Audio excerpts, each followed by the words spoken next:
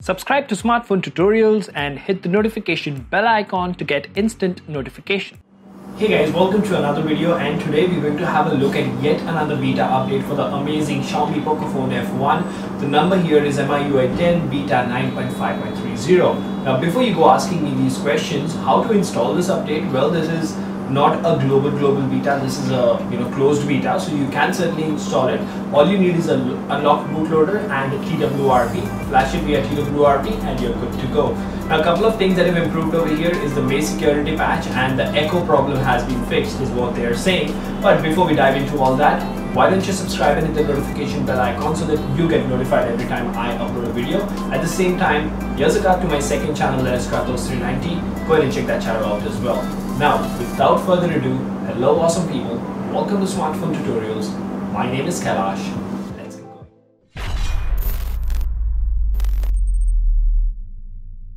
Hey guys, welcome to another video and yes, yet again you're looking at the Xiaomi Pocophone F1 in all its glory on smartphone tutorials. I really hope you guys liked uh, yesterday's live stream which was there for PUBG and I did answer a few of your questions. I plan on doing all these live stream uh, quite more often. Let me know in the comment section what exactly would you like to see in a live stream.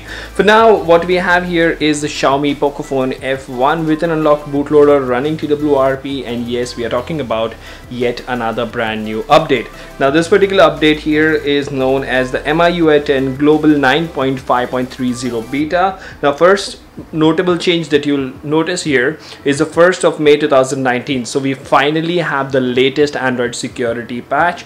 And of course the Android version on this one is Android 9 as always. There is no change with that. But what to expect? Well we will have a look at the benchmark scores and a couple of other things. We will also have a look at ambient display and geekbench and antutu. And i will also quickly share my gaming experience on this particular rom. Now first things first if you want to have a look at the battery usage over here. So it has been on battery for 18 hours and 58 minutes. The small spike you see there was when it was connected to the computer to copy a few files. It was not charging actually. So yes that's the hardware usage. We've used it for three and a half hours and we still have a good 39% of battery so the battery life is pretty good. Uh, when it comes to gaming in PUBG well first things first we have this new ramjet feature over here uh, it is not a new feature. It has always been there in security but now we do get a you know icon on the home screen by default. As always the gaming turbo feature is already there as well. And apart from this what I would like to share is something very very interesting. So say if you go to settings and then you go to additional settings you need to have developer options enabled for this. Now usually your phone would be in this state turn on MIUI optimization. But if you turn this off and then if you go to display here there we go you will see something very very new that is ambient display. Now of course this doesn't work. Even if you go ahead and turn the screen off the ambient display doesn't come up as it should but what's really really great to see is that they have included it. Although this is a LCD panel it might be very very power consuming for this one because the whole panel has to light up. But we do have a lot of different options over here. So what excites me is for devices like the K20 Pro which I'm planning to buy we're going to have a host of uh, options when it comes to ambient display. And yes uh, it does work on some other devices like the Note 6 Pro maybe the Note 5 Pro. Uh, I would also like to share that we have the Note 7 Pro in the house. I'm thinking of doing a speed test between that phone and this phone. Give this video a like and mention that in the comment section if you want that speed test to happen. Now, apart from this, uh, what very, very important is for this particular update is that they have claimed or they are claiming that they have fixed the call echo in call echo for users when they were you know making a voice call there used to be an echo that used to be heard that means basically the noise cancellation was not working perfectly fine. But now that has been fixed. Uh, now apart from this there's no point in going to the change log because they have updates for MI9 when it comes to ARCore that is not applicable to the Xiaomi Pocophone F1 but to answer all your questions in short what I would say is yet again this is an update that I am using as a daily driver and it is perfectly fine. It doesn't heat up. And before we end this video let's quickly have a look at the benchmark numbers over here. So if we go to Antutu benchmark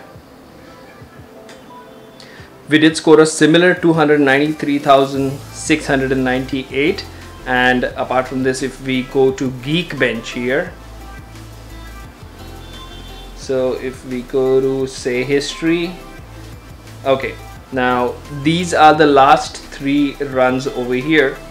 So single core 1714 this was I think 9.5.17 9.5.23 was 2346 and 6334 and this time we scored 15 27 and 44 50 so if you look at it from a benchmark point of view the last update 9.5.23 gave us the highest significantly high score. But for me that doesn't really really make a lot of difference because benchmark numbers don't really you know translate into real world usage.